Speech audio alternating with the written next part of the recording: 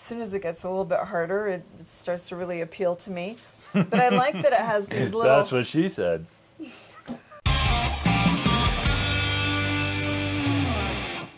Hi guys, this is Play It Again. I'm Ginger. And I am Mike. And the homepage threw up a brand new song that I didn't even know was coming. Here.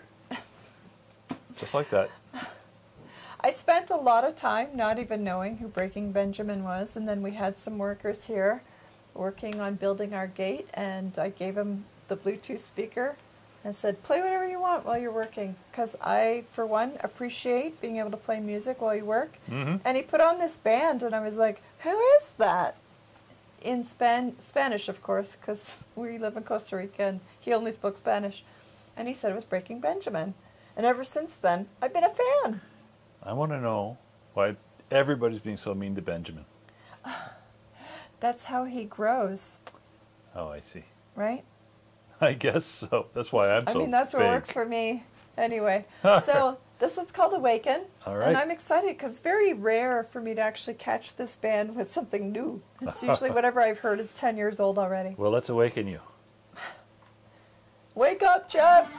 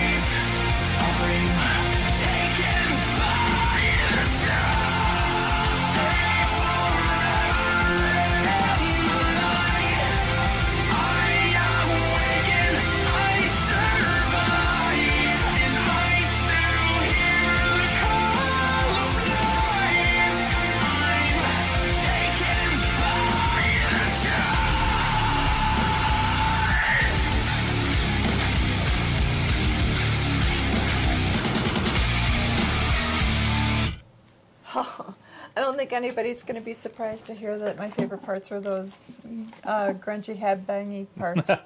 No, nobody's surprised by that. Uh. so, so they're very much to my ear like the like a three-way love child of Evanescence huh? and uh,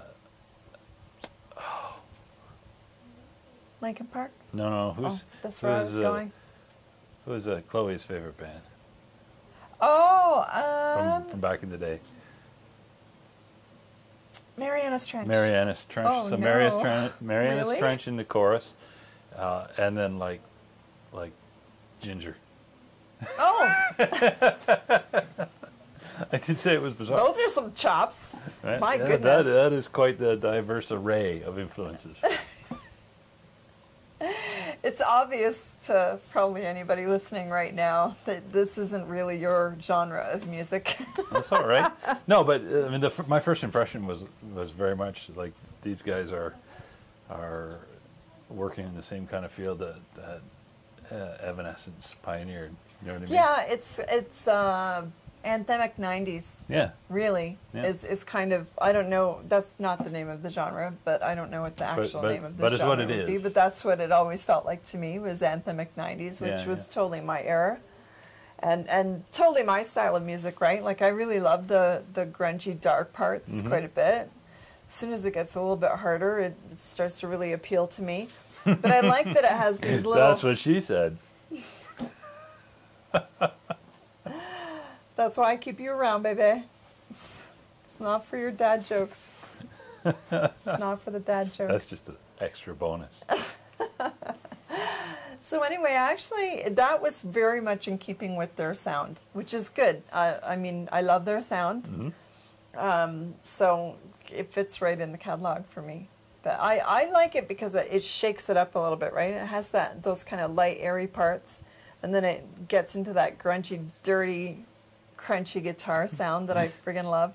Grungy and dirty and crunchy. That's Ginger's. It's totally Bag my right speed. there. It's totally my speed. So yeah, once again, I still love this band. Excellent.